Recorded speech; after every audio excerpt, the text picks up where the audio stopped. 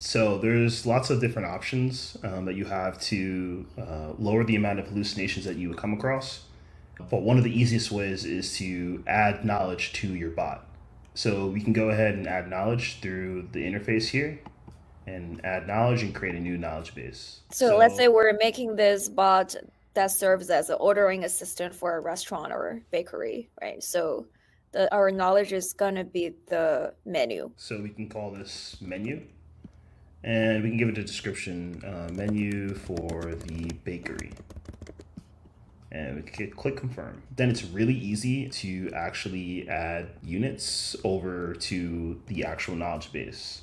So let's go over here and click add unit and we're going to add something that's local to us, but we also want to be able to upload something that's local um, in table format, like an Excel file or a CSV file as well.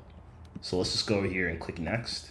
Yeah, could you show us what the Excel file look like?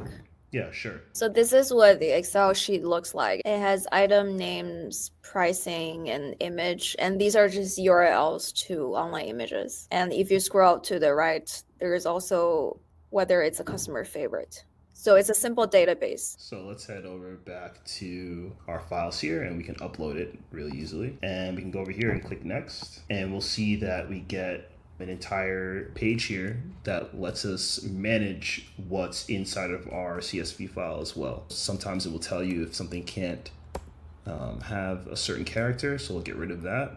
And we also can check our data types as well. So item name we can keep as a string, Pricing we can keep as a string as well. Image we can keep as a string since that's a URL, right?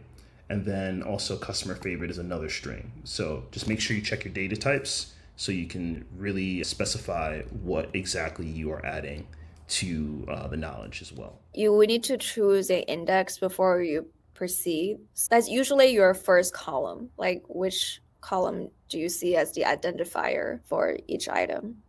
So in this case, we're going to choose the item name and we can add a description for each field so the large language model can better understand what each field does. Cool. So now we have our index that's chosen for the item name and some descriptions as well.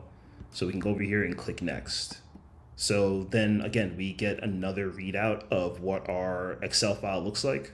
So we have our index here for item name, we have the pricing and all the other fields that are there as well. So it also tells us the amount of total records that we have here on display. So we can go over here and click next and it will process it all. And we can click confirm once we're done.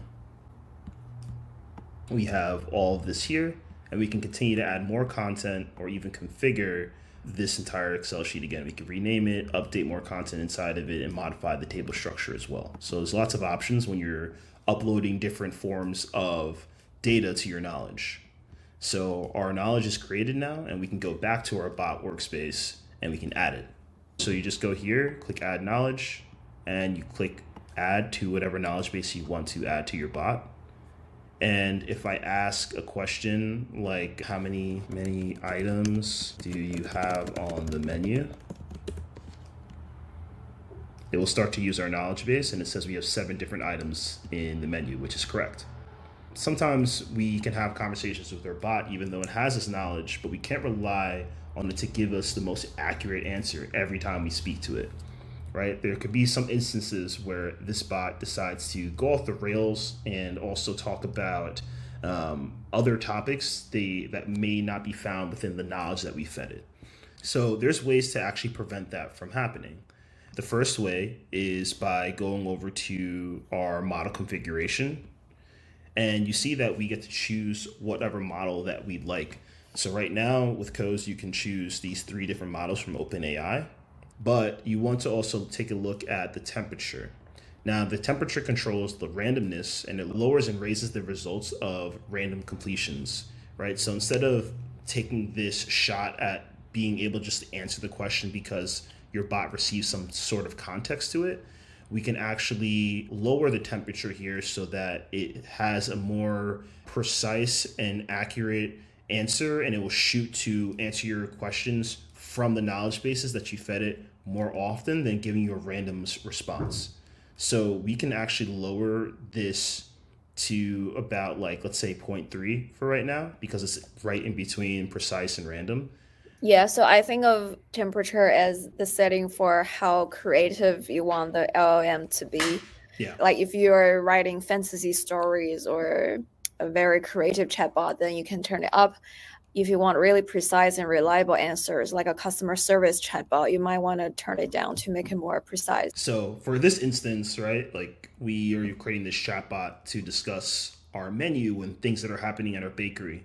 A lot of times you can see hallucinations are causing some types of troubles in some companies. I forgot which airline it was, but there was one the other day that had some hallucinations happening and it actually made the airline lose money because yep. it uh, adhered to some customer some customer policy that they had and you don't want that to happen to your business so this is a way that you can control those type of situations and make sure that they don't happen as often let's ask another question to the bot so can you recommend some popular items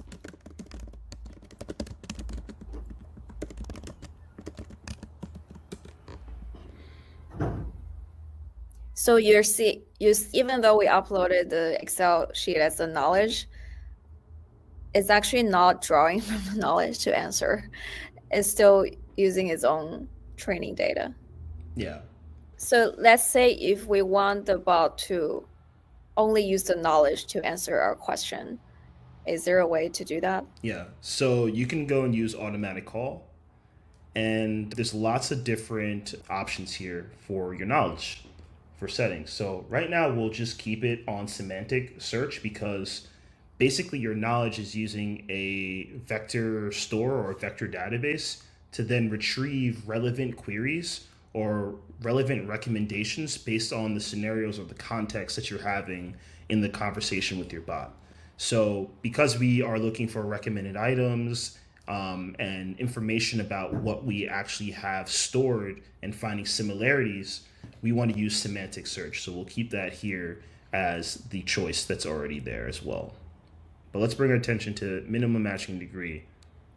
Now, minimum matching degree selects uh, the different paragraphs um, according to the setting match and degree um, of the reference model, right? So basically, if we lower this degree, we're going to make sure that the bot is going to actually uh, call to the knowledge more often when we are talking about different topics within the context of the semantic search. So if we lower this a bit as well, we should get a more accurate answer. Will this be okay right here? Yeah. 17 yeah. probably.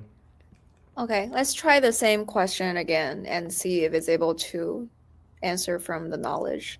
So let's regenerate and see what's happening. Okay, now it's searching from the knowledge. Yeah. Awesome. The other thing is notice how it's able to return the image from the knowledge.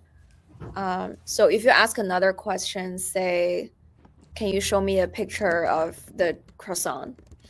It's actually able to retrieve the specific image that we put in the Excel file. And if we go to the prompt, that's because we have a line that says output image in this format and then we include the image URL in the Excel sheet. So this is kind of a trick if you want your bot to give out image answers.